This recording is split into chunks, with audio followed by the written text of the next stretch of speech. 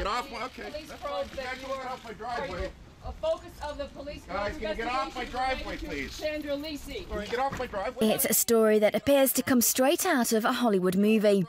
Over the last few months, the Toronto political scene has been dominated by shocking claims about the city's mayor. Please.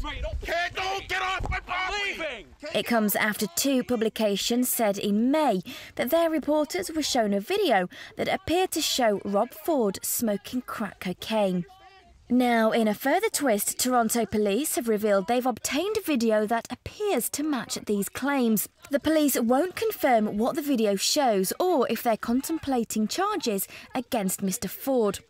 Police Chief Bill Blair has identified the mayor as a subject in a video that police recovered during a drug investigation.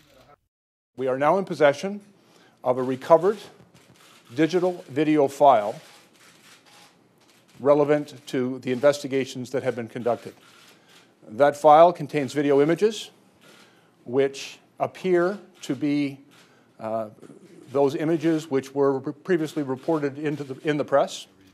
Mayor Ford denies the allegations and says he doesn't plan to step down. today. I, I, I wish I could come out um, and, and defend myself. Unfortunately, um, I can't because um, it's before the courts, and that's all I can say right now.